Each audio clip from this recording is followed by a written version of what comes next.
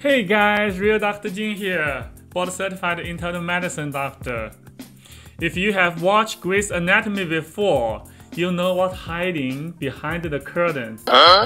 And look the red high heel. Today we are going to talk about something private. Within the walls of the hospital, the truth is stripped bare. What happened to O'Malley? Outside the hospital. Well, that's a little different.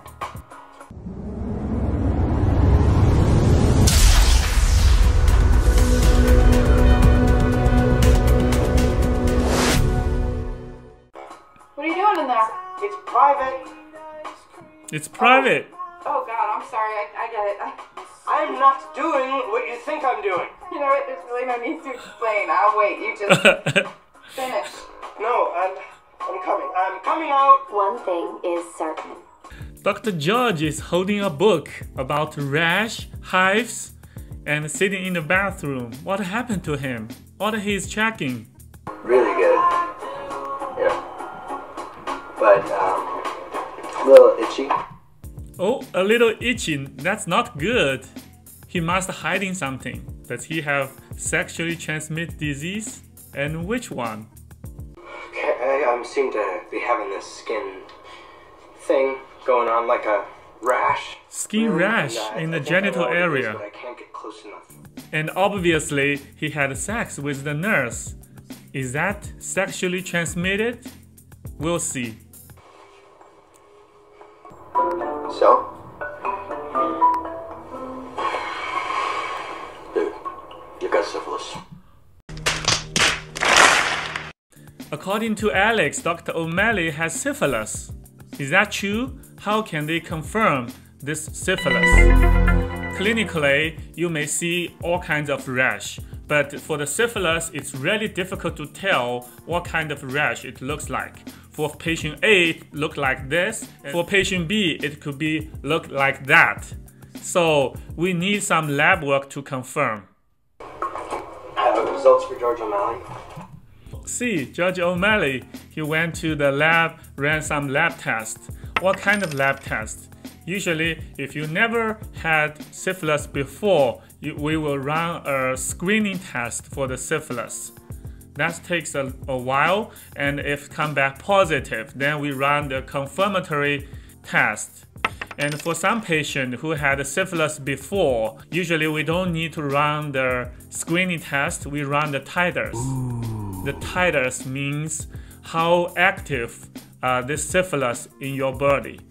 If the titers comes back within same level like before, that means you don't have syphilis. But if the titers go up very high, that means you have syphilis again. Let's see what George has. Oh, O'Malley, George, look, it's just a simple blood test. There you go. Thank you. You have syphilis? You don't know. Maybe I've been sleeping around. That's a lie. As you know from the previous 8 episodes, Dr. O'Malley is a very shy guy and he never date with girls. He in love with Dr. Grey, but- he's afraid to tell her. Now he has this new girlfriend, Olivia, and obviously he got this syphilis from Olivia. Syphilis is sexually transmitted. That's why we call it a sexually transmitted disease. To know a little bit more about the sexually transmitted disease, yeah, usually we will test the patient not only for syphilis, because a lot of sexually transmitted disease can come together. What are they? The most common one we test in the clinic is gonorrhea, chlamydia, trichomonas, syphilis, and HIV. But some patients they concerned about the herpes. If that is the concern, we can do the test, but usually we don't recommend to because if no symptoms, the herpes, even the blood work comes back positive, we don't need to treat. Ah, what am I gonna do about Olivia? Well, for starters, stop sleeping with her. That's right. For sexually transmitted disease, another recommendation from the doctor is to avoid the sex until you get fully treated.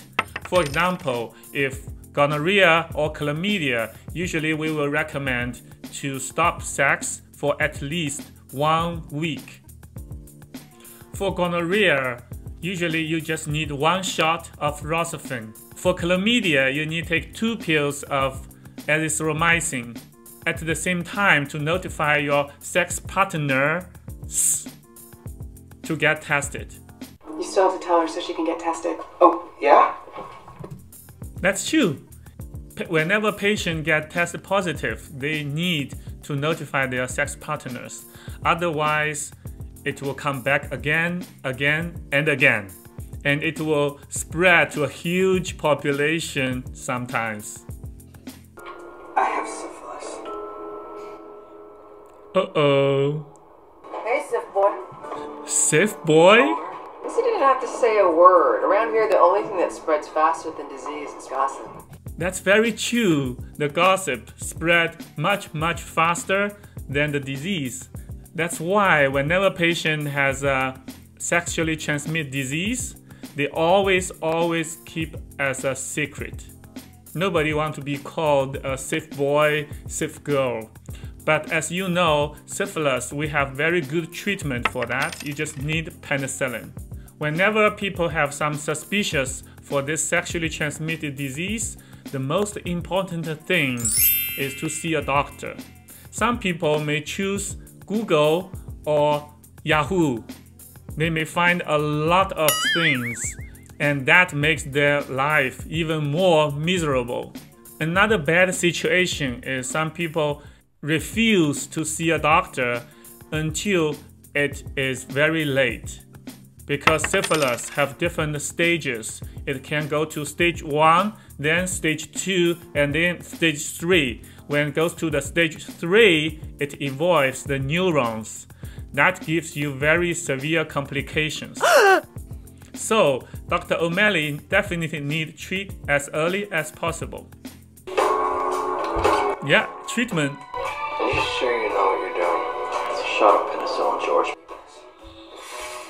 Meredith? Boy!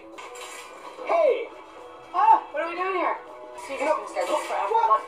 Oh, what are we doing? As you know, Dr. O'Malley wants Dr. Grey to be his girlfriend. Now, Dr. Grey is doing the shot for him. Just imagine. Poor George. You know, I've spent hours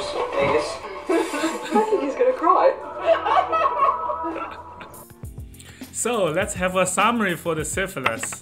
For the syphilis, we have primary syphilis, like George, and we have secondary syphilis, and latent syphilis, and tertiary syphilis, which is the late stage syphilis. This will involve your neurons, causing very severe complications. What are the symptoms? Usually, patient will develop rashes, bumps, but they are painless. The best way to confirm is to see the doctor, not checking the Google. Self diagnosis will give you more stress instead of helping you. Three interns, four residents, and six nurses on this surgical floor have been diagnosed with syphilis. Really? See? This is sexually transmitted disease. Sometimes it can pass one to one and involve a lot of people together. I think the best way is to screen all of them who are suspected to have syphilis and then treat them together. As long as one is missed, this syphilis can become spreading again. If you are having unprotected sex with another member of the staff, get tested. This is not a request. Right, everybody need to get tested. Can we prevent the syphilis? Yes, we can. Condoms. When the time is right, and gentlemen, you'll all know when that time is. Carefully open the condom packet. With every fresh banana, always use a fresh condom. Look, the Bailey. If it's not a long standing couple, condom is highly recommended. It can prevent syphilis, prevent gonorrhea, chlamydia, as well as HIV. When we started dating, I was already kind of seeing someone. Hmm, that's the I reason. didn't know how much I'd like you. And when I realized, I broke it off with the other guy. I re- Guy? You and Alex? You get me syphilis! Whoa, look at the judge. Lost his temper, hit Alex. And obviously, Alex diagnosed him as syphilis very easily because he had it. That's why sometimes we say an experienced patient is a good doctor. Okay, this is uh, Grey's Anatomy Season 1, Episode 9, and the last episode for Season 1. And we finished Season 1, yay! I really thank you to watch Grey's Anatomy together with me for the whole Season 1. And in Season 2, there must be a lot of more interesting cases. And look at the shepherd and his wife now has Dr. Grey. What will happen between them? If you want to watch season 2 together with me, please leave a comment. Your thumbs up and comments is a big encouragement for me to start reviewing season 2 with you. And thank you again to watch Grace and Anatomy with me.